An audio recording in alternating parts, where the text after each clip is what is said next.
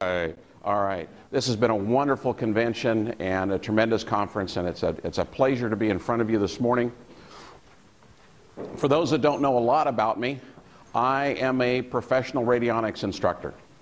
And I have a, a practice where I work with farmers from around the country and around the world and do an awful lot with agriculture, a lot with plants, a lot with animals, both four legged and two legged. It is not significantly different than what many of the rest of you do with your energy work. And for those that don't understand radionics, think of it as a left brain approach to right brain work. And if you looked at the radionics instruments that I use, they look an awful lot like a 1950s or 1960s Heathkit radio set. You know, you've got the knobs and the dials and the numbers and all that stuff, which, you know, for left brain guys like me, it's just, oh yeah. And there's lights that light up. Sometimes they flash. but that, that, that, is, that is what my business is, and that's how it really led me to get into some of this information and to approach it perhaps differently than some other people have approached the energy work. I really have got a, to the point in my practice and in my life where I'm able to understand more and more that this reality that we live in is not made of stuff. It's made of energy and information. And we talk about raising the frequency and we talk about doing, but it's all energy and information. And in a nutshell, if you have enough energy, you can change the information. If you don't have enough energy, you cannot change the information. For our energy workers that work with us all the time, and they say, well, you know, this person has a lot of energy or a lot of mojo well, what they've got is basically the same voltage, which is the wrong word, but it's, it's one I'll use. They've got the same voltage as you and me, but they've got a lot better focus. And as we've done our energy work and as we've gotten better, we've noticed that as we're able to focus better, we get better results. And if you've been to a Raymond Grace con- uh, conference where you know he's doing his work and he's and it's phenomenal what he's able to do. The difference between what he does and what most of us are able to do is that he's got tremendous focus and he knows it's going to work. We don't have as good a focus usually, and we think it might work.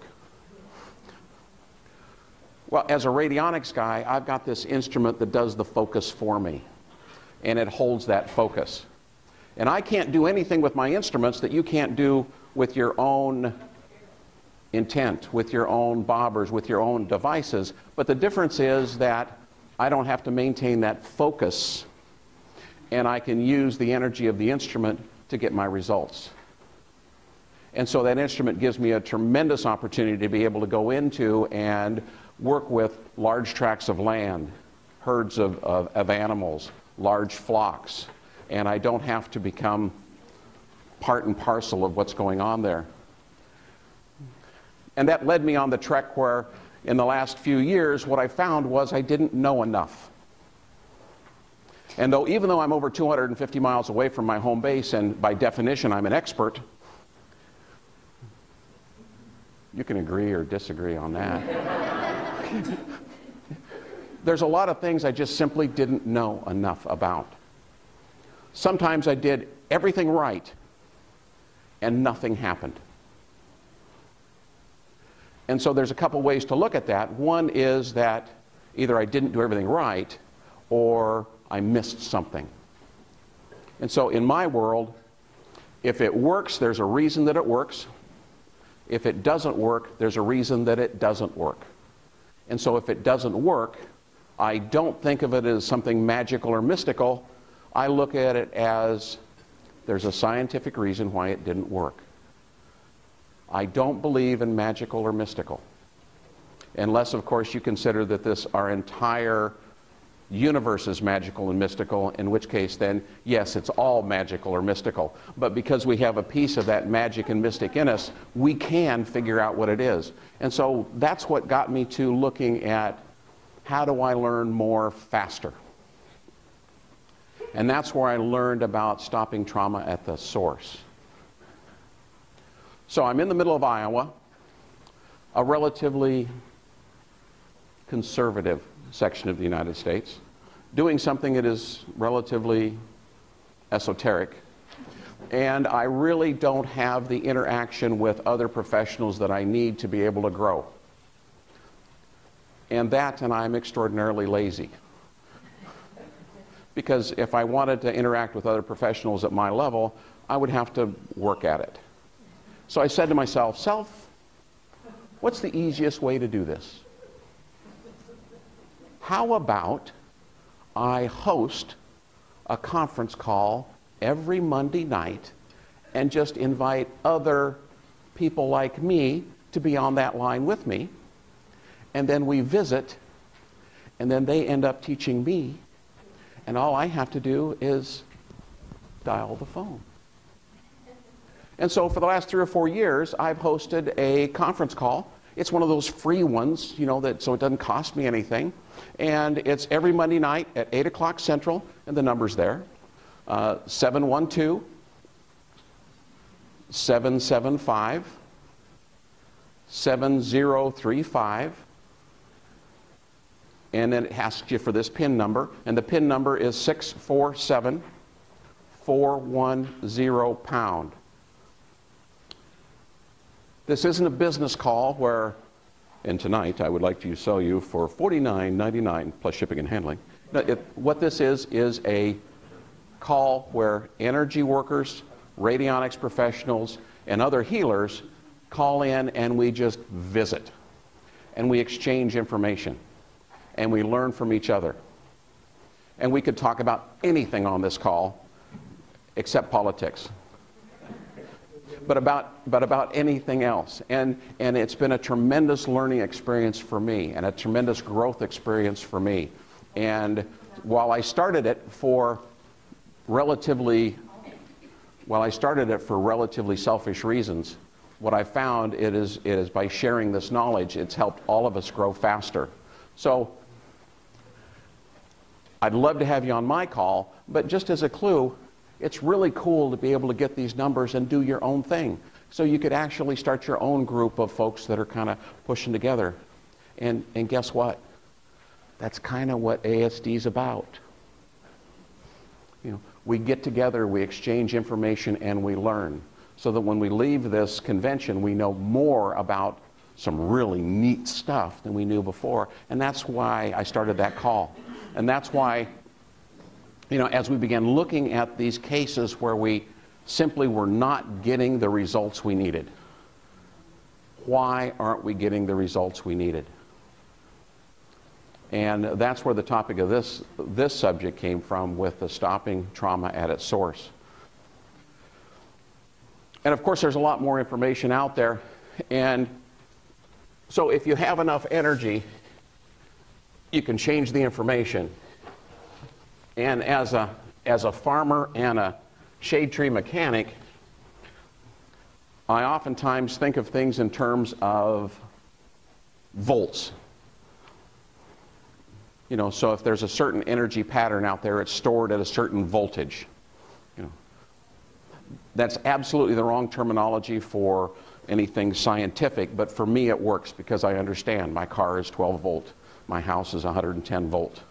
So if I tried to run my refrigerator off of my car, it's not going to work. But if I plug my house into my car, that may be a little bit too much for it. I could certainly change the information. so let's go back and look at everything is energy and information, everything is a frequency. So if you have an issue in your system, no matter what that issue is, and let's say that issue is soybean cyst nematodes, or that issue is an infection, or that issue is some sort of dysfunction. or some sort of disease, then whatever that thing is we're talking about, it has its own unique frequency.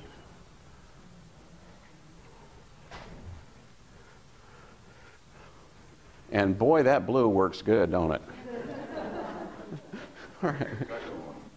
So it has, it has some sort of frequency. If it has a frequency, then the things we do to that frequency either make it stronger or suppress it. So when I have a craving for chocolate, well, we know that if we have a craving for chocolate, it's probably a magnesium deficiency or a Hershey bar deficiency. It could be either one. but when I have a craving for chocolate, that is simply a frequency. No more, no less. When I eat the chocolate, it suppresses that frequency. Okay. When I pick up my superb cup of coffee, the dark roast, and I drink the coffee and I don't have the chocolate, that makes the desire for the chocolate become stronger, so it increases that resonant frequency. To put it in a different way, if I have a bacterial infection in a system, that bacterial infection has a certain frequency. Think of it as a certain radio station and I can tune into that radio station, and that radio station is either loud or soft.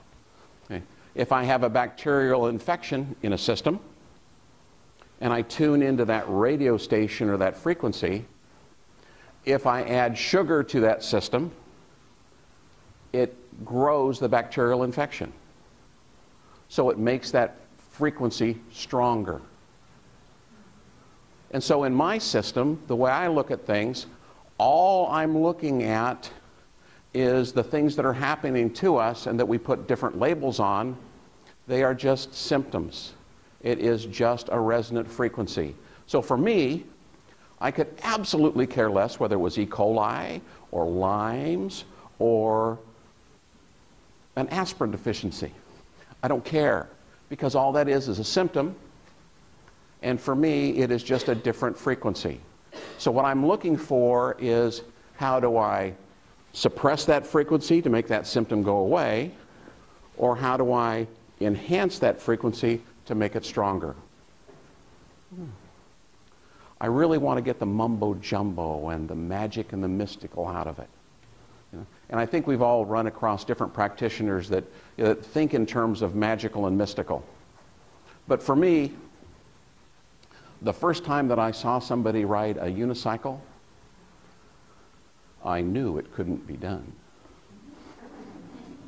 Because it's impossible. There's no way that a human being can perch on a wheel and ride around. It's absolutely pure magic that somebody could ride a unicycle. And then in southern Iowa, there's a small rural town where the uh, second grade teacher taught all of the kids to ride unicycles.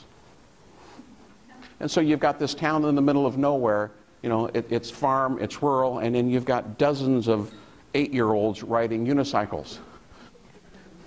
Okay, so for my idea that it can't be done, well, maybe it can.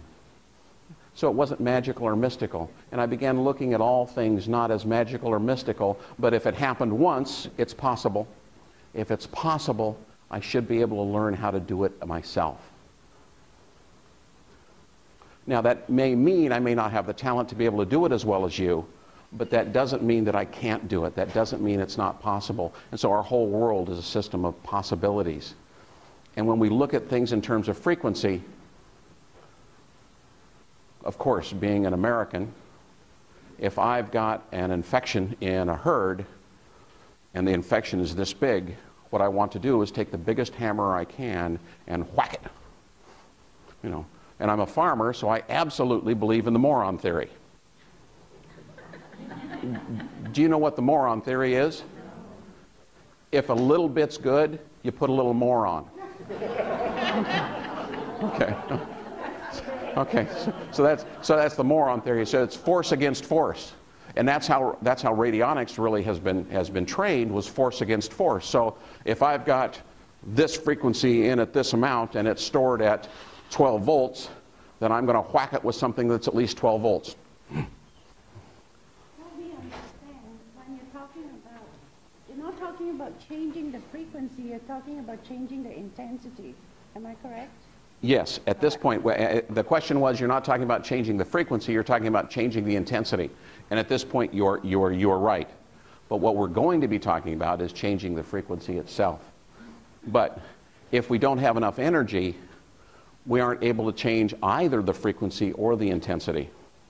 Once we have enough energy or have enough voltage, then we can change either one of them. And so in radionics practices, you know, if I've got something stored at 12 volts, I'm going to whack it with something that has more than 12 volts. And it will go away. If it's 100 volts, 100 volts. If it's 1,000, 1,000. And so for years they've called me More Power Marty. Because if there's another device out there that I could add that'd give me more power, oh yeah. If I could wire that instrument into to 220 or 440 or however what voltage, oh yeah. If I could get a bigger antenna or a bigger instrument or more dials or switches, oh yeah. And if those dials will light up, oh yeah. I've got a friend that's building a radionics machine, and you remember in those little scientific uh, uh, toys, you know, where you put your hand on the globe and all the little sparks come out? If you could have one of those on that, oh yeah. How cool would that be? Oh yeah. Okay, so it's more power, Marty. But what I found was more power was not always the answer. More force is not always the answer. And nature really doesn't appreciate force. Nature appreciates finesse. And if it's an E. coli infection, and I'm just going to whack it with 400 volts of whatever, wow, okay, well, that infection is simply a, cis, a symptom of whatever the problem is. And if all I'm doing is looking at symptoms, then I'm never going to address what the original problem was. And I've had a number of people come to me in my different classes and they talk about and they say, you know, Marty, I want to make sure that I want to work on people. You know, because I've got people that have disease and I want to work with them. Absolutely. This works for two leggeds. But if you're practicing medicine in our industry and you don't have a license, then you really don't understand what it is we do anyway. Think about what a doctor does. And it's not a lot dissimilar than the Cadillac mechanic. The doctor is paid to find out what is wrong and then to find a way to reduce those symptoms. On occasion, that, that the physician will find out what it is that actually heals and makes it go away, but much of the time they reduce the symptoms. If you buy a brand new Cadillac and you take it to the dealer and say, I would like for you to check out my Cadillac, and they take your beautiful Cadillac back to the, the mechanic, the mechanic is going to try to find out everything that's wrong. You know, this little plastic Hudakai is broken, or this is, you know, and they're going to fix all this stuff. And so they're absolutely going to find something wrong. Has anybody ever taken a car into a dealership where they didn't find something that was wrong? Okay. Wow, there was one. Okay. But if you take that same car to your local garage, he's going to look at it and go, you know, those little plastic things break all the time and it makes no difference. So in, in our business, we really don't have the qualifications, most of us, and it's certainly not our thing to find out what that symptom is and make it go away. That's not what we do. What we do is we try to find the cause of the problem, correct the cause, and allow the body to heal itself. Because when the cause goes away, the body takes care of it. And it doesn't make any difference if it is a chicken, a frog, or a stalk of corn. If there is a disease in that organism, there is always a cause, and when you correct the cause, it goes away. What Phil Callahan did a number of years ago, he was studying plants and insects, and he found that the insects have these antennas that look just like the high end communication antennas that he was using in the military as a military communications officer. And so he began studying the antennas on these little bugs. And what he found was that when the bugs are attacking a plant, it is because that plant is putting off frequencies that the bugs can see. And if the plant is healthy, the bugs can't even see that plant. Because that little bug that comes in to eat the plant, its job is to go ahead and recycle those organisms that are not fit to reproduce. And so what works in plants works in people. So if you're one of the people that the mosquitoes and all that are attracted to, there is absolutely a cause. It's not magical, it's not mystical. It can be found out what it is and it can be corrected. However, when you and I are picnicking together, it's okay with me if all the mosquitoes go to you. so we can put off fixing that until later. So it's energy and information, energy and information, energy and information. Well, this leads us back to some of the projects that we ran across that we simply could not solve. We didn't have enough power. The intensity was too high. And even though we were hitting it with everything we had, we simply were not getting results. Well, in our holographic scalar universe, we experience time, but the universe just gives us time as a way to keep track of things. In the scalar world, there is no time. Our brain works on a scalar frequencies. That's why we're able to think back and think forward, and that perfectly explains all of the psychic phenomena that we've lived with and heard about is that time is a fantasy that works well for us, but it doesn't actually, actually exist. And so we began playing with what happens if I work to see if I can balance that frequency earlier. And for me, that led me kind of a, down a real interesting road. I began to think, okay, our antenna that we reach into the scalar information field is really our DNA. And DNA is a scalar antenna. So the DNA does not store all of the information to make every protein that's in your body. But the DNA is the antenna into the information field that has all that. So we have this scalar antenna. My scalar antenna is different than yours. That's why we look different. But it's an awful lot like yours. In fact, my scalar antenna is almost identical to my mother's and my father's. It's almost identical to my siblings, my cousins, it's a little bit different, but it is extraordinarily similar to my father's, my grandfather's, my great grandfather's, my great great grandfather's, back, back, back, back, back. And if there is no time in the real world, and their antenna is almost the same as mine, then they should kind of resonate together. And I'm thinking about this at night, going, this is really cool. I wonder if. And as dowsers, we always, we, we absolutely know that it's not the answer that is so exciting, it's when we find the right question. And it's almost like you have to be this tall to ride the ride because when that question comes to you, you go, oh my gosh, that question is so obvious. Why didn't I think of it before? But I wasn't ready for it before. And so, what happens if? If our antennas are so much alike, what happens if I pull out a picture, or in our case, a witness, of my great, great, great, great, great, great grandfather in his Civil War uniform okay? And I work on his trauma and then analyze to see how it affects me. Okay. All right. This is really dumb, right? Okay. I've got a picture of a dead guy who's been dead for 150 years. Okay. And I'm playing around on this picture and I'm checking to see what the results are today. Wow.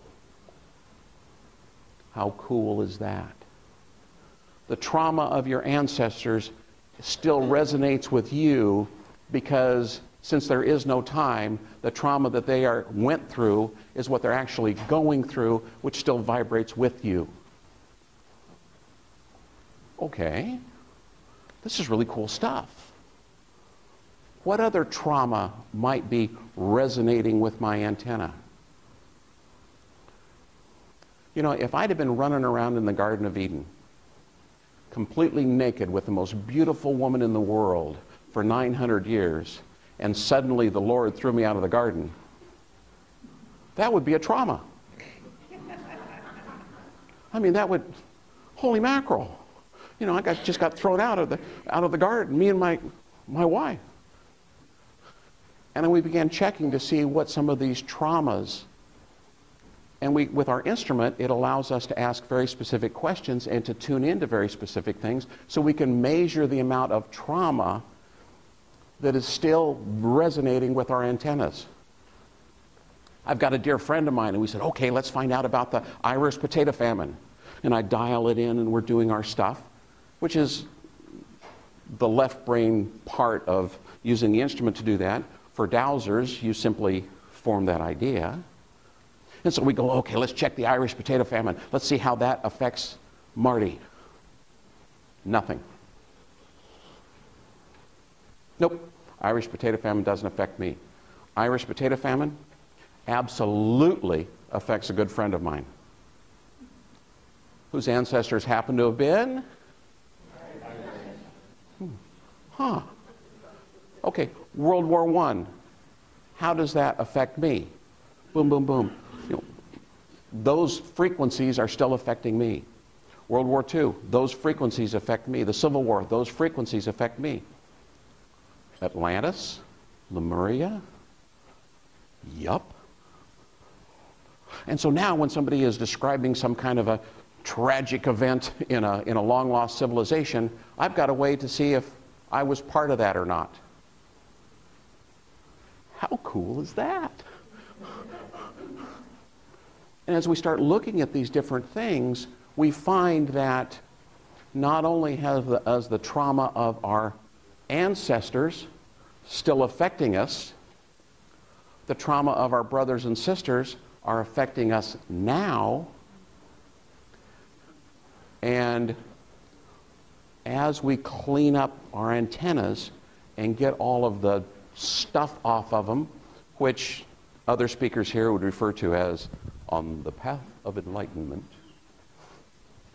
But as we are getting our own stuff out of the way and as we're cleaning up, suddenly we began feeling the trauma of complete strangers. Oh my gosh. These writings and this stuff that these people have been talking about for all these years, suddenly I'm tall enough to ride that ride.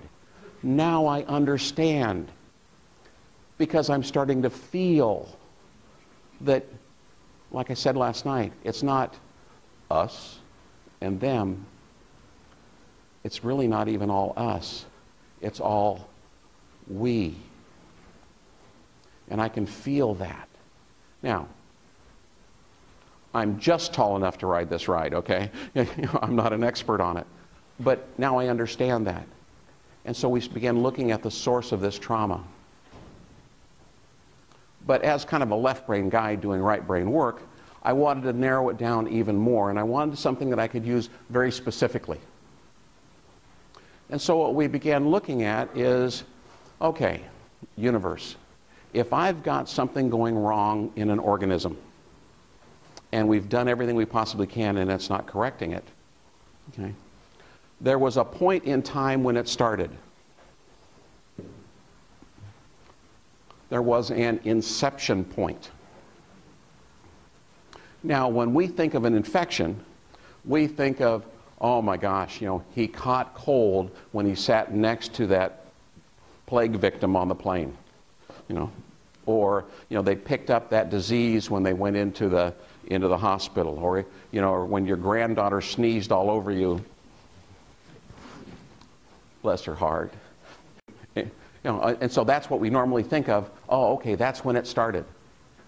Except that's not when it started. When it started was when something happened in your energy field that made you susceptible to whatever that was. Now, as a left brain type, I really want to know all of that stuff. But as a dowser, the universe already knows what the inception point of the cause of the trauma is. Okay. That's probably the biggest thing I want you to take notes on. The inception point of the cause of the trauma. I do not care when the infection started because the infection is a symptom. I don't care when that started. What I care about is the when the cause started. So, I've got an old car in the middle of Iowa, and in Iowa we use a tremendous amount of salt on the roads. So if I've got a great big rust hole in a fender, you know, I really don't care that, you know, the rust hole started, you know, two years ago. What I care about is the cause of the rust hole, and that was when that rock chipped the paint. That's what I care about is the cause. Well, gosh, what is the cause of the E. coli, blah, blah, blah? The universe already knows.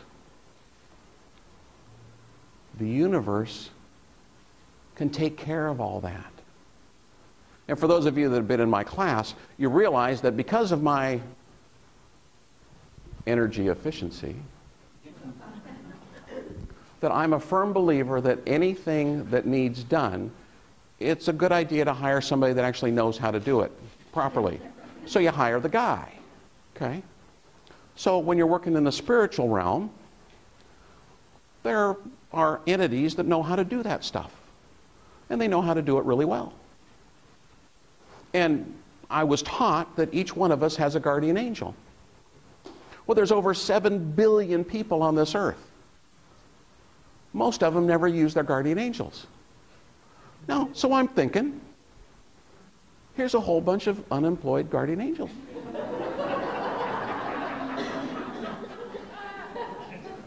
they would got things they would like to do. They're bored. So how about I just let them take care of the details? No, no, because they already know those details. I don't need to know those details. And it'd be kind of fun, but they already know that stuff. And so all I have to do is ask. And because I've got a radionics machine and I've got dials and I've got numbers and I've, i can do all that, I can put dials and numbers to it. Because that really is good candy for my left brain. Oh, yes, here's, yeah, yes, is it, know, the frequency is 99.732 dash 67.101. Ooh, that's a good number. Yeah, okay. okay. The universe doesn't care. All that does is just kind of keep my left brain something for it to chew on. And so what I do is I pull out my dowser, you know, and a lot of times I'll use a pendulum, a lot of times I'll use a rub plate on my instrument, and I'll say, okay, I define the current issue, whatever it is. And let's say that current issue is, let's go with a two legged, because two legged is easy. Okay. Let's say the issue in this particular two legged is a sore knee. Okay. So this particular two legged has a sore knee. What is the year that the cause of this sore knee started? What is the inception point of the cause of this sore knee? Now, if I ask the two legged, you know, why is his knee sore? The two legged will say, well, in high school, Uh, was the quarterback. And I got tackled by whatever, you know, while we were scoring this the winning touchdown of the homecoming game, and blah, blah, you know, and he'll, he'll tell me this whole story that makes no difference to anybody except him, and I could care less because it has nothing to do with his sore knee. Because his sore knee is there because of a reason. And he got tackled because of a reason. In fact, he was playing football because of a reason, and it probably, again, all it is is just another story, story, story, story, story, story, story. Somewhere there is a cause. I don't need to know that cause. I don't really want to know the cause. Because again, it's just a story, it's just a symptom. And it's a symptom that the angels know how to handle that stuff, and I really don't care. But I want to know what the inception point is, and so I will dowse for the year. Sounds good. When I first started this, I would go, okay, this particular creature is 50 years old. So somewhere between 19, what, 66 and now, so I started dowsing between 1966 and now because if it's a cause in this body, it must have happened here. And then things got weird. what I found out was the inception point of the cause may not have been during the lifetime of that individual.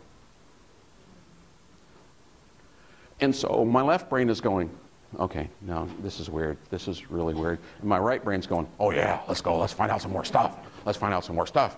You know, and and then I began putting the pieces together, and and it all fits into this great big pattern. And so, don't be surprised when you're trying to dowse for the date. At the very least, start looking in the right century you may want to look in the right millennium. And for me, the question I'll ask is I will pick out is it before or after the year 1000? And I use 1000 not because there's anything significant about it, but it's candy for my left brain to chew on and it gives me a point of reference. Okay.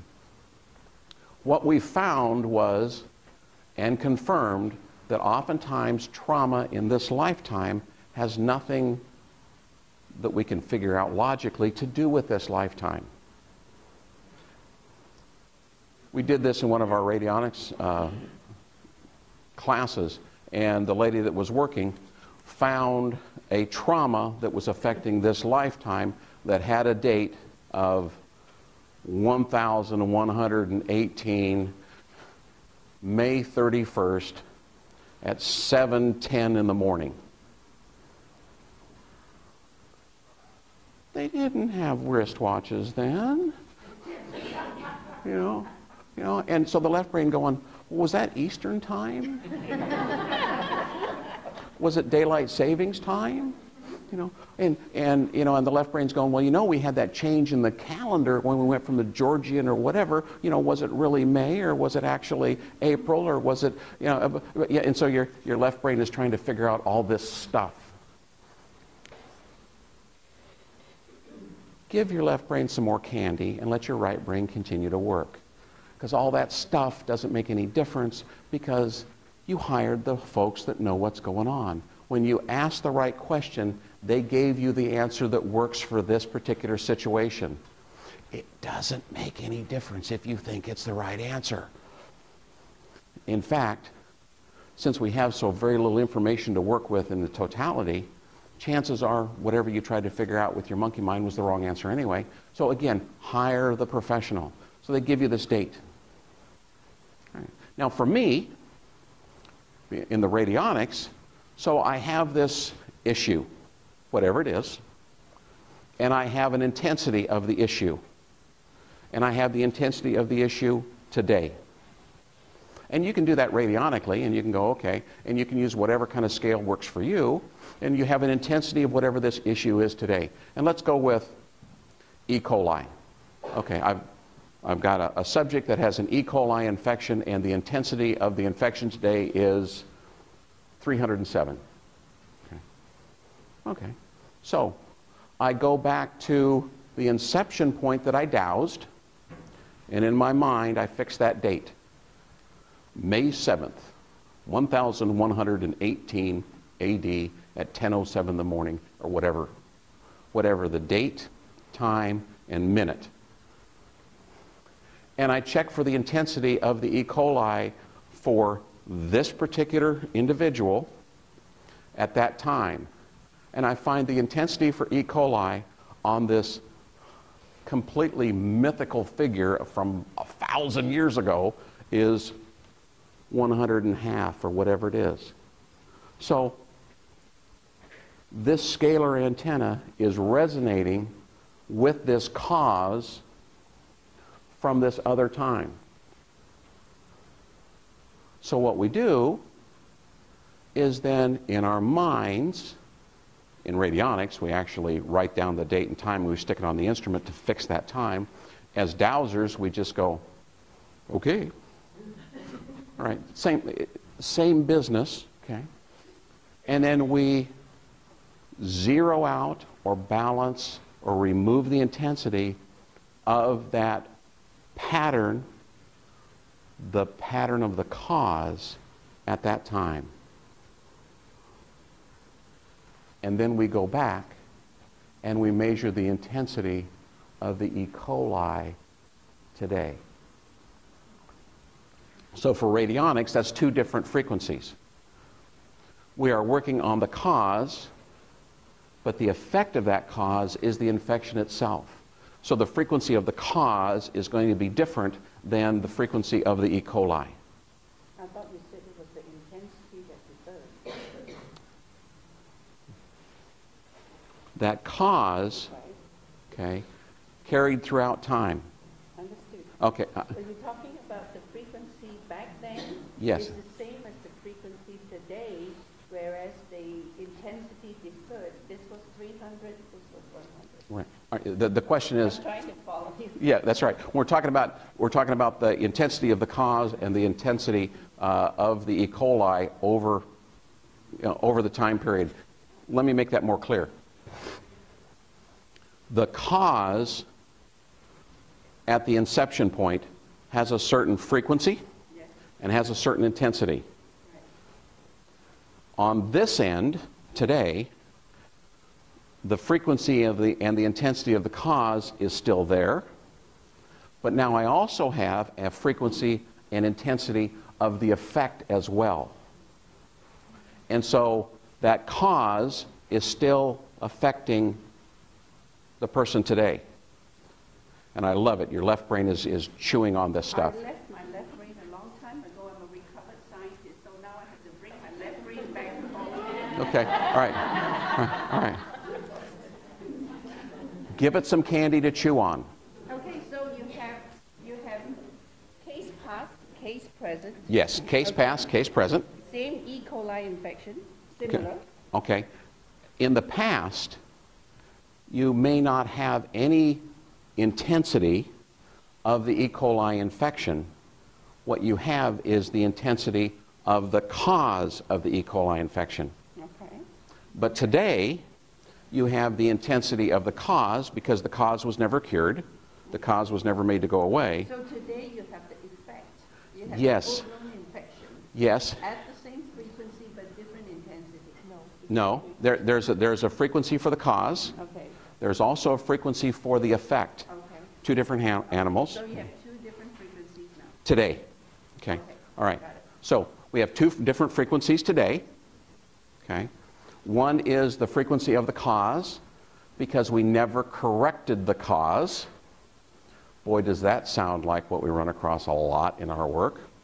Okay, but we also have the frequency of the effect. For those that work a lot with emotions, you know, and you've, you've read the emotion code and the rest of that, and, you know, this, this person has some kind of dysfunction in their liver, and the emotion person says, well, that dysfunction in your liver is a result of anger built up in the, in the liver. You know, the cause is the anger, okay? So what you've got is the anger, which is the cause, and you have the cirrhosis or whatever label you want to put on it, which is the effect. Same thing, except the anger in that liver, which we think of, it was because our father or our mother or, you know, or that anger could be because they didn't even give the president a golf cart to run around here. Can you imagine? I mean, the president doesn't even get a golf cart to ride. Huh. Whatever the, whatever the silly anger issue is, it, it makes no difference. So, cause, effect, cause, effect. So when we zero out the cause at the time it happened, and it makes no difference when that time was, then the effect goes away on its own. And so when I take care of the cause at the inception point, I don't need to use this extraordinarily large hammer today to whack it because it will go away on its own. Thank you. You helped me with my problem. Yeah. Because all too often, we are stuck in the left brain logical, this world is made out of real stuff. Okay, all right. I mean, that's what we're supposed to believe. It's made out of real stuff. It's not real stuff. The people out there think it is, and sometimes they fool us into believing it's made out of real stuff, but it isn't real stuff. If it was real stuff, all of the miracles that we live every day couldn't happen. You know, and what got me started on this is, you know, as a little kid, I'm sitting in, the, in church and they're talking about Moses with the, he's got his, he's got his walking stick, and he goes to the, the Pharaoh's wizards, and Moses turns his walking stick into a snake, and the Pharaoh's wizards turn their walking sticks into snakes, and they have a big snake fight. Yeah. Well, because Moses had the power of the Lord behind him, you know, that's some pretty mystical, magical stuff. And so that's how Moses was able to change, you know, his stick into a snake. But if the story's true, and there, we really can't lose anything by thinking about if it is true, but if it is true, somebody knows how to turn sticks into snakes. As a seven year old, how cool would that be? Okay. You know. And so as I hear about these different people doing these miracle things, for me it's not mystical, magical, miracle, impossible. It is, what if it's true? What if this women's intuition thing is actually true? I've been married for over 30 years. It is true. It's really true. It also seems to be attached to some kind of a photographic member, memory thing that remembers things that I have forgotten 29 years ago. Okay. Has something to do with cause and effect. You know, I was listening to a radio show and they were interviewing an old guy that had been married for 55 years and they were talking about all the wonderful things he'd done in his life. And the interviewer was a, was a young man, and he, was, he goes, Oh my gosh, you've been married to the same woman for 55 years? And he goes, Oh no, she is not the same woman. and then she pipes in, and he is not the same man. okay, cause and effect, cause and effect. Yes, ma'am. Okay, help me understand. So we have the present situation. Okay. That's the manifestation of the underscoring energy, which is the cause at the moment. Yes. Which has a different frequency from the effect. Yes. Okay, so you track the frequency of the cause back in time to find another similar frequency back in time, which has a smaller intensity. Fix that intensity, this goes away. Yes. Yeah. Uh, the question was. Uh, here, let, let me restate it first. Okay.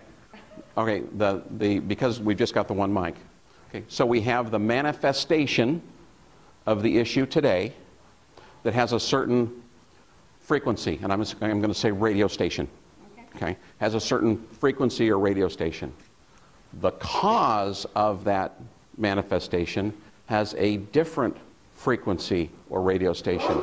So when we go back in time, we can trace back when that cause started, and by fixing it then, the manifestation today goes away. It's easier with a diagram. It is. As you can see, the blue stands out so well. It's. I, I'm sorry, and, but again, that's that. You know, as we're as we're thinking of the of the picture, when you're trying to find to solve an issue, okay, think of whatever the manifestation is as the result. I bake a cake, okay. The cake is the result. Okay. If I didn't use the right Okay, let's say that I used margarine instead of butter. Okay, the cake looks fine. It tastes like, you know, it, it tastes, it tastes, yeah, I think that's why they call it margarine, because it tastes marginal. Okay. Uh, okay, all right, all right, all right. So the, so the cause of the cake tasting bad, our left brain logical mind would say, because you used margarine. But as we're tracing it back with our left brain monkey mind, we used margarine because there wasn't butter. There wasn't butter because there was a commercial, you know, they had all these public service announcements years ago that butter was supposed to be bad for you, and so we were convinced that, that you know, we would use margarine. We had those commercials because the people that made the oleo, oleomargarine, you know, were able to get that pushed through the FDA about the, the butterfat content and the, you know, and how bad it is for you, blah, blah, blah. And so the cause was not that I put the margarine in, not that I had margarine instead of butter, not that, I mean, so you just keep on tracing that back. And that seems like a, for me, I like to think of terms in, you know, fairly simple pictures. So the cause of that lousy cake ultimately was we didn't use butter, but originally was because of the fact that we had the oleo in the first place, which was could have possibly been the uh, some kind of an economic thing. Everybody's heard the story about the about the young wife, you know, who is making the Christmas ham. And you know, and so she's got so she buys this enormous Christmas ham and she cuts it in half just like her mother did and cooks it in two pans. And they asked, Well, why do you cut it in half? Well, we cut it in half because that's how we do it in our family. We always cut the Christmas ham in half. And so we asked mom why she did it. She says, Well, I did it because grandma always did it that way. Because that's how we do it in our family.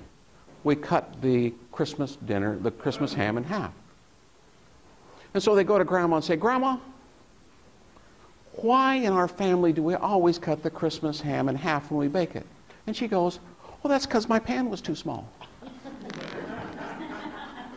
yeah, yeah. So it has nothing to do with all of the rest of this wonderful, mystical, magical thing. There was actually a cause. It's all energy and information. If we have enough energy, intensity, we can change the information. Another way to think about it, let's say that we're listening to WHO radio, you know, the flamethrower of the Midwest with 50,000 watts of whatever, blah, blah, blah, and we're listening to Rush Limbaugh because, okay. So let's suppose that we walk into that studio, we pull Rush Limbaugh out, and we put I don't know, the character of your choice in there. Maybe somebody good looking.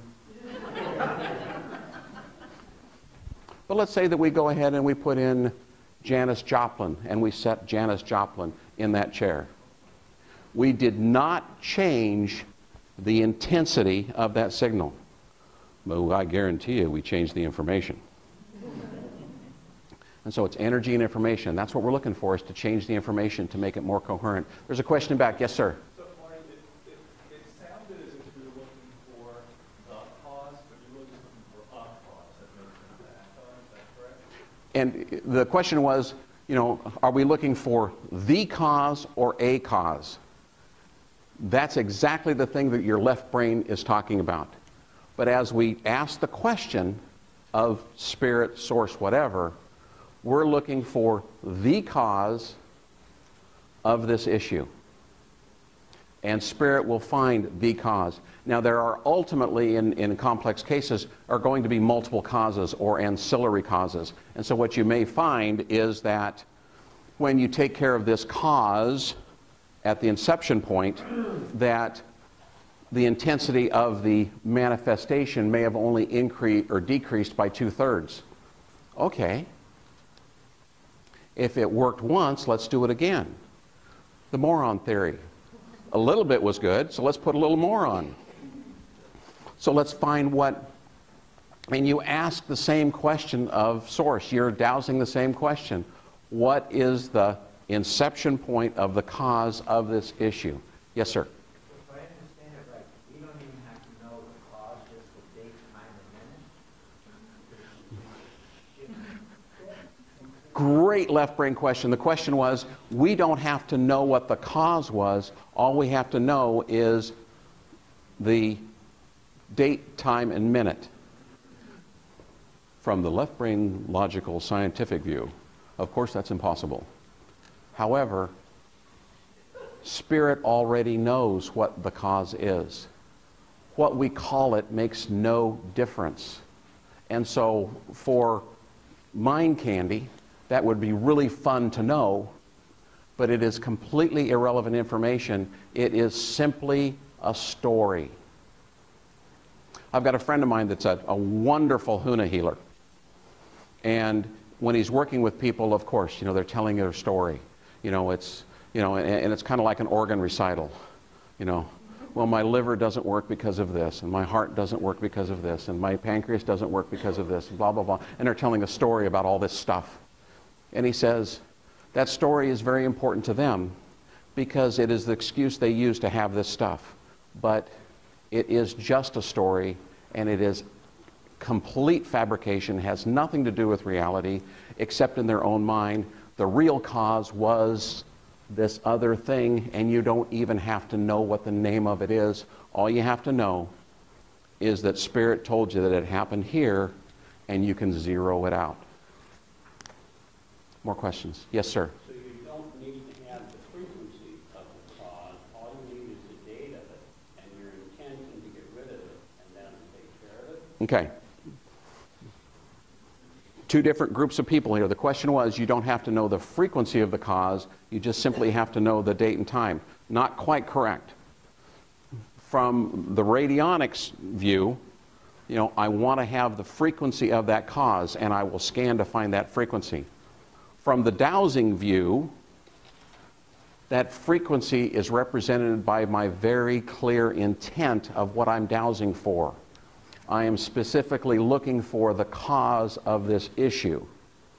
So when we're dialing our machines, and I'm specifically looking for the cause of the issue, I'm going to get some numbers and some settings on the dial. I'm going to find that radio station, and that helps me stay focused. For the dowsers, we maintain focus by simply asking the right question and staying focused on that question. We don't have to know what the name or the label of the cause is. What we are looking for is the cause of this issue. And that's how we find the frequency. That's how we stay focused on our intent if we're just doing it dowsing. After we find the cause, you can absolutely name it. You can call it whatever you want to. You could call it M&Ms, absolutely. And does it make any difference? Absolutely not. Because again, what, we've, what we're doing is we are occupying our left brain to keep it doing whatever it's supposed to be doing, and we are allowing spirit to do all the heavy lifting. Because there's over 7 billion unemployed guardian angels that know how to do this stuff. Yes, ma'am. Yes, from um, my simple Dallas point of view, uh, really the, correct me if I'm misinterpreting you, but from what I understand is that you're basically, you have this sorting issue, and so you're going, with my intent, I'm going back in time to the beginning of that sorting issue, whether it's this life or a thousand years. And then, uh, I don't really need to, it would be nice to know the date, but the angels know the date, so my intent is going back to the origin of that. And then at that point, uh, in whatever frequency it is, I'm scrambling that frequency. You're right in the ballpark, uh, but let's narrow, let, let, let's get you closer to base. The, the, uh, when we have an issue, the issue is simply the manifestation. We don't care when the issue started. Okay? So they could have had a sore knee since high school. We don't care when the issue started.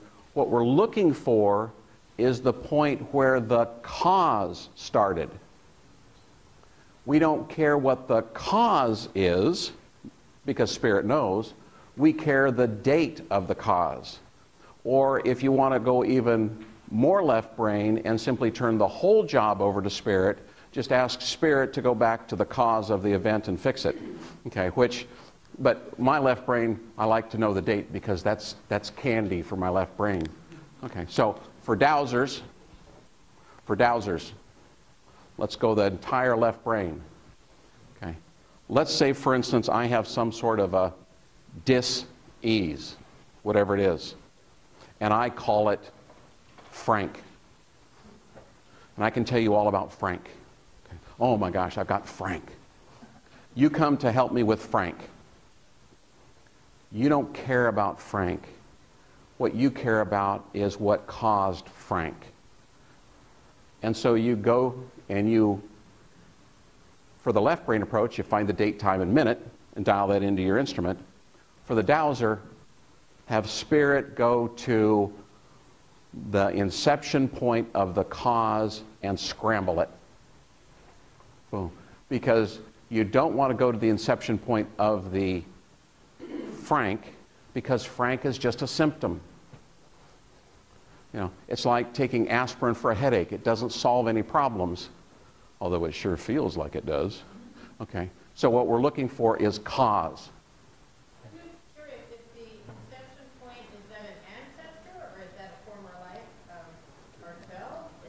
The, the, the question was is the inception point a former life, or is it an ancestor? Is it a parallel life?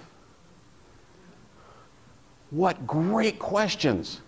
And it gives our left brain lots of stuff to chew on. It makes no difference. However, a lot of times I'll go ahead and dowse it just to find out because, you know, it'd be kind of cool. If I actually had a former life where I was a pirate and I buried a whole bunch of stuff,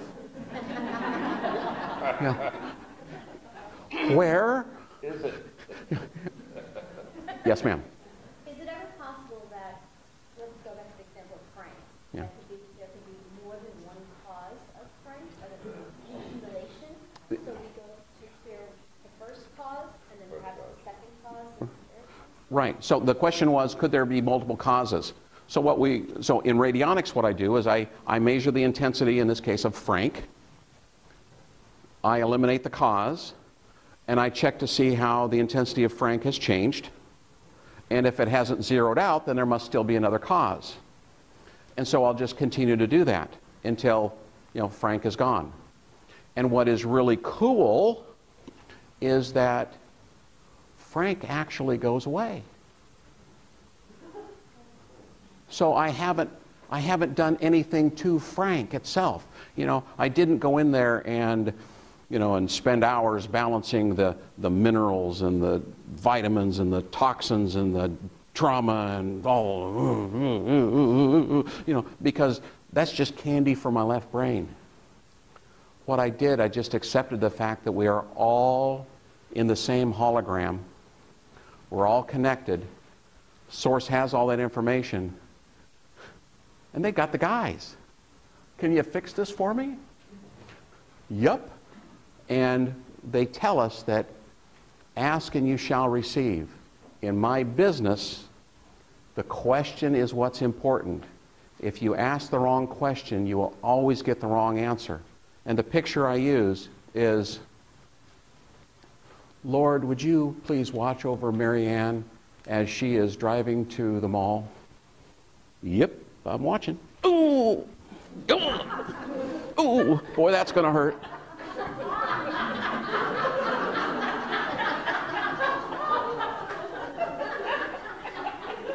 We asked the wrong question. Okay. All right. There was some more questions. Yes, ma'am. I always go, Oh, I'm sorry. I went right behind you. I always go for way too much information and it gets in my way sometimes. Yes. So as far as this is concerned, if I dial back and say, okay, whatever happened was in the thirties, Mhm. I can just say, what is the intensity? And let's dial that down. Go. Right. And again, it's the, it's the cause. And it doesn't make any difference if it's in the 30s. Make, you know, you know, is it, it absolutely makes no difference, all the details, because it's all just story anyway. Yeah, so, yes, uh, um, Wendy was first. Okay, so you, so you, you found the cause of Frank, Yes. you fixed the cause of Frank. Right. Are you fixing all the other Franks that everybody else has? You fixed the cause of Frank? The question was, when you go back and you, and you fix the cause of Frank, did you fix all the other Franks? Sometimes you do. Because, what, because we're all resonating together, there is no them, it's only we. When you fix these problems in the past, oftentimes, so let's say that I've got some issue associated with getting thrown out of the garden.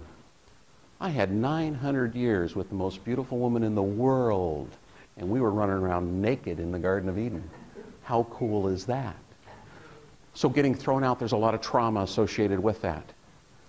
As we start to heal that trauma that is affecting me, it's affecting all of my ancestors, it's affecting all of my descendants, my brothers, my sisters, my cousins. It's affecting you and it's also affecting everybody else because we took out the cause. How cool is that? It's also affecting the future. Absolutely. Um, you were first, I'm sorry. I'm sorry. I'm, I'm just asking a scientific question. First law of physics is that energy can neither be created nor destroyed. So how do you dial it down to zero? What happens to the energy? Where did it go? Okay, the question is since energy is neither created nor destroyed, when you dial it down, what happens to the energy? What we did was we changed the information. So, in, It's really, it's really more correct to say um, you transmuted the energy rather than removing it. You don't remove energy. the, the, the question was it's, it's more correct to say we transmuted the energy, we didn't remove it. You are absolutely right. Because, but for me, I'm looking at this energy and information, and the picture in my mind is Rush Limbaugh is no longer sitting in that chair. I put somebody else in that chair. I rather like to say the saber-toothed tiger is now a harmless pussycat. The, yeah, absolutely. The saber-toothed tiger is now a harmless pussycat. It's still there, but Yeah. it's no longer harmful. Yeah.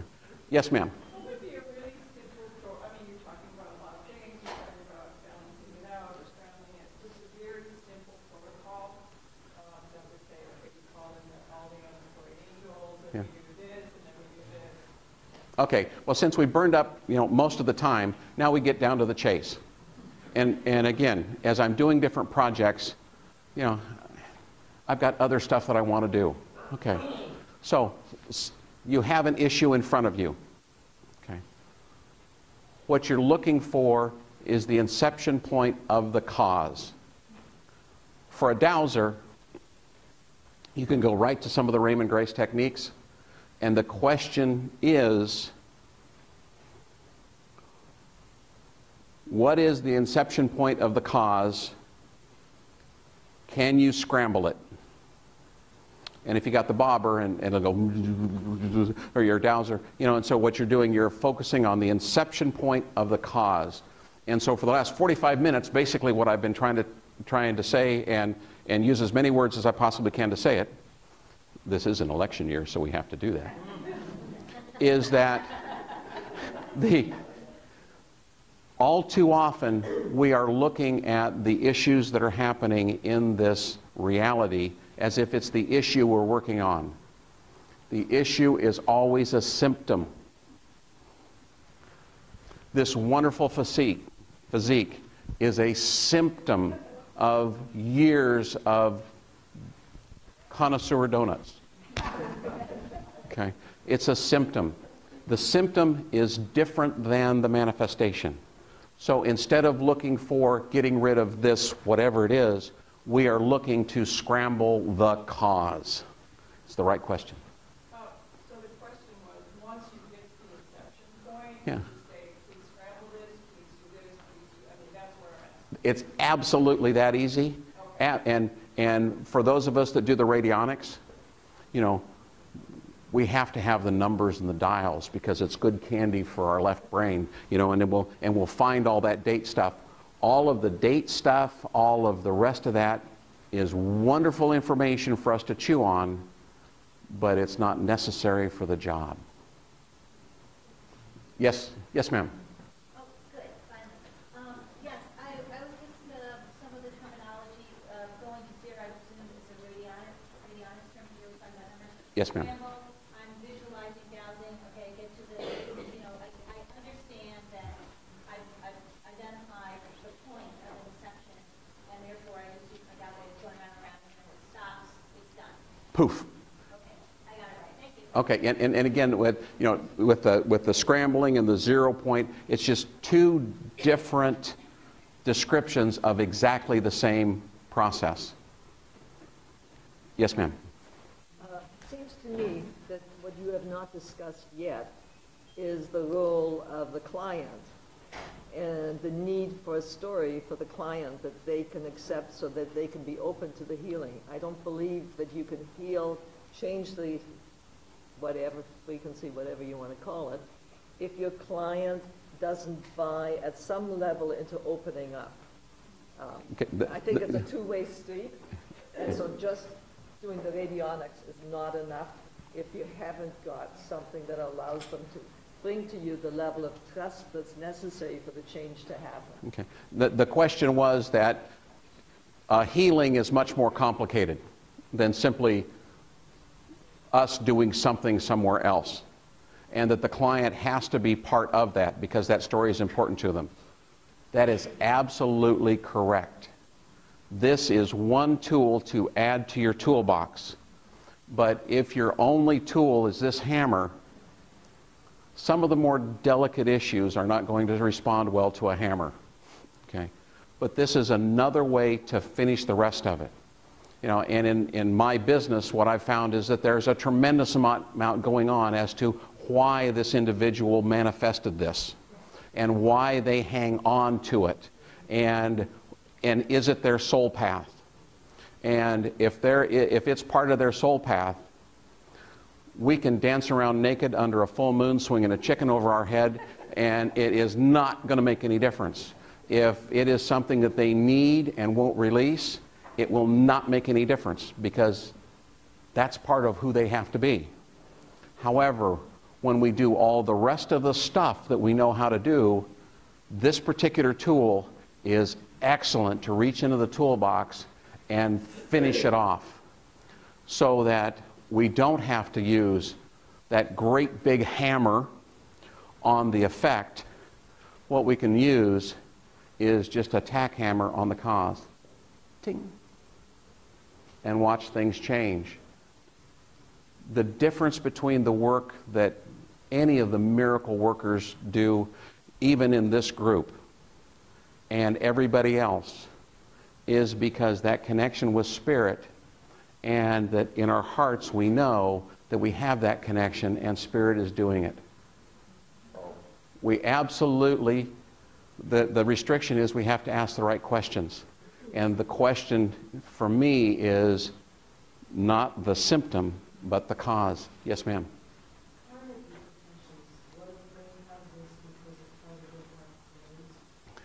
Then we can, the question was, as, as far as karmic, what if it's part of their path? If it's part of their path, it's not changing because they're going to hang on to it. They absolutely are, are, are part and parcel of what's going on here. And, but for us, what it does is it gives us a way to address that. But we are not going to be able to change their path. If their higher self, their saints, their angels, or whatever their, their structure is, said, okay, they have learned this lesson. Like for me, what I found as we're, as we're going through this, and this is, this is what works for me, it is not the ultimate truth.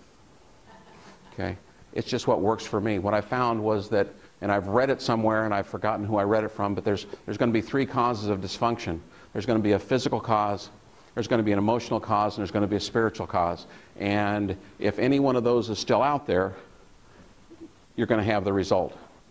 But in a basic, you know, 45 minutes or whatever, this gives us another tool to work with. This doesn't take away from all of the other wonderful things you already know. This is not the way of healing. It is not the answer. It is another question to ask. Yes, ma'am. Um, one may not be able to find it, but there's a lovely little book that's out of print called Healing the Family Tree, which is exactly what, you know, in this area that you're talking about. And I have found that having the book there allows clients to give more validity to the approach because they see it's been in print by somebody. Healing the Family Tree. If you ever find it, get it. Yeah, the, the book is called Healing the Family Tree. We don't know who the author is, but you know, when we're working with clients, you know, it has to fit into their reality. You know, if they believe because they've been told all of their life that they are such and such a such, then they are such and such and such. And you know, and the, what the clearest example that I have, when I was in elementary school, we've got like 30 kids in the elementary in, in my class. In first grade, Pat was a star. He could play little league and actually hit the ball. Wow he could throw a ball and get it close to the kid he was throwing it at. This kid is a superstar. Somewhere between first and second grade, Pat found out he was stupid. And as soon as he found that out, then that's who he decided he was. That's as good as he got. But he found out he was stupid ladies and gentlemen, and you absolutely know this, and I'm not telling you anything that you haven't heard a thousand times before by people that are much better qualified than me. But the limitations that we face every day are always between our ears. It is what we decide we can and cannot do. And as I'm learning that lesson, and I continue to learn it every day, because I learned from some of the wonderful people that are here, and they're not mystical or magical. They just have skills I don't have. I want to learn their skills. You know, there's a wonderful medical intuitive that teaches people how to see inside people. How cool is that? Yeah. And it isn't that I have been given this mystical, magical thing and I will share it with you for $150 an hour. What it is, is all of these skills are available to all of us. And because we all resonate together with that same DNA, boy, does this sound like the same stuff we've heard all our life. The better that you do, the better that I do. And so I don't do unto others as they would do unto me because, well, that's what a good Christian does.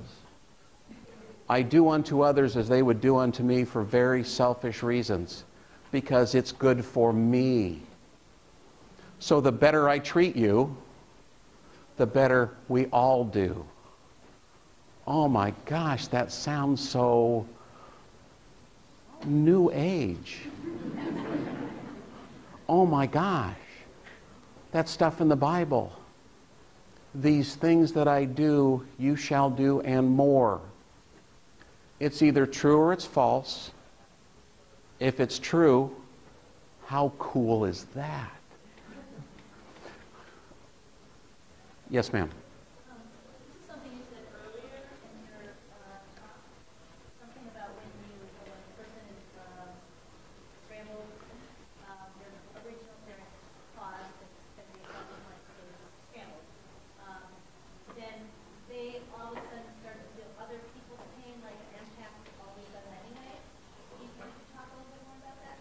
The, the question was, is as you clean up this stuff, uh, you start feeling what other people are feeling. Okay, and, and for me, I have this picture of this antenna. And the antenna for my radio station has all this stuff on it. Remember, for those of a certain age, we used to have radio or TV antennas. And when the birds would build a nest on that antenna, we could never get channel 13. And we had this 30 foot pole beside the house, and we'd actually have to go out and turn it, you know. And so, as kids in the middle of the winter, when, the, when it wasn't going, then dad would send us out to turn the, the antenna, and then he would holler at us from the warmth of the living room and when we got it right. so, when the birds build their stuff on this antenna, we can't get channel 13. And so, as kids, I mean, there's a couple ways you can get that bird's nest off. You can crawl up there with a ladder and do it properly, or when nobody's looking, you can grab that pole and go and give it a good shake and hope that everything falls off. Well, our DNA is the same type of antenna, and it has all of this junk on it. It's got all of this ego stuff about who I am and who I am not. It has all of these other programs on it, all of this emotional stuff stuck on it, you know, all of this other stuff. And so instead of resonating with all of you, it's kind of just vibrating with Marty. Yes, I am correct. But as we start cleaning that stuff off, suddenly our antenna begins to resonate with the people around us. And we notice it in our own personal interactions with our loved ones because many of our loved ones have the same junk on their antenna that we have on ours. You know, my wife knows what I'm thinking long before I do because we resonate together. But we both have the same junk on our antenna because we've gone through the same stuff for the last 30 years. But as we're cleaning up our antennas, now that empath, that the empath, now we're starting to be able to resonate with people around us and feel their, their, their emotions. I used to be able to watch good war movies. Okay, you know, you've got the good guys, you know, and they've got their machine guns and they're killing bad guys left and right, and oh my gosh, what a hero thing, and oh yeah, you know, this was good stuff. And John Wayne, you know, and he's killing the bad guys, you know. And as I've cleaned stuff off my antenna, I can't do it anymore. You know, I have a hard time getting into a lot of these different, you know, even the commercials, because I feel it. Ooh, you know, I'm a retired United States Army officer. You know, stiff upper lip, never cry, never show emotion. Boom, boom, boom. And now I'm feeling this stuff like, like a hippie. Ooh, ooh, I have a friend that's a tree hugger. Oh my gosh. And, and so when nobody was looking one day, because after all, I have my image, I couldn't let anybody see me do this. I went out and hugged a tree. Wow. How cool is this? This stuff is real. All of that junk, I had to, had to find the right word because it was being recorded. All of that junk, that has accumulated on my antenna about this reality is this way and Major Lucas is going to play this role is junk. And as I get that stuff cleaned off of it, not only am I seeing who I really am, but I'm getting to the point where I understand what you people have been talking about ever since I met the first one of you 25 years ago. Ladies and gentlemen, if you didn't get what you needed out of this, I am so sorry. Please forgive me. Thank you for sharing your wisdom with me this morning.